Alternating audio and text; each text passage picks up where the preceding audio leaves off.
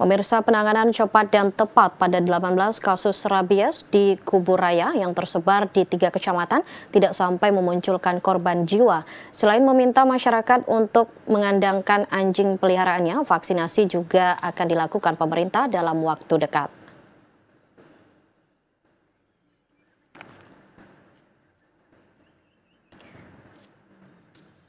Meski tidak sampai memunculkan korban jiwa, korban rabies akibat gigitan anjing di kubur raya diminta terus waspada dan rutin memeriksakan kesehatan di fasilitas kesehatan terdekat. Terlebih, kasus ini menjadi perhatian serius pemerintah.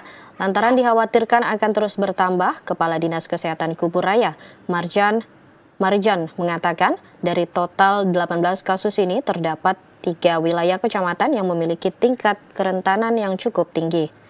Tiga kecamatan tersebut meliputi Sungai Raya, Sungai Ambawang, dan Kecamatan Sungai Kakap, di mana peliharaan masyarakat masih banyak yang tidak dikandang atau berkeliaran bebas. Meski terdapat 18 kasus, Marijan memastikan tidak terdapat korban jiwa, lantaran sebagian besar dari anjing peliharaan masyarakat sudah disuntik vaksin. Sebagai bentuk antisipasi dalam waktu dekat, pemerintah akan melakukan suntik vaksin di tiga wilayah rentan tersebut. Dari kota Budaya itu memang ada 18 kasus ya di rabies, tapi tidak menimbulkan yang hal-hal yang tidak diinginkan. Ya kan? Jadi itu semua sudah divaksin.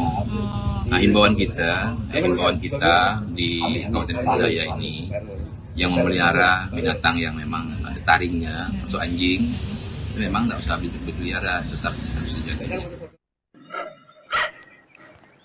Kadinkes Kuburaya Marijan menambahkan, Pihaknya terus memantau dan meminta masyarakat untuk memberikan vaksin terhadap pemeliharaannya, baik secara mandiri maupun vaksin dari pemerintah Kabupaten Kuburaya.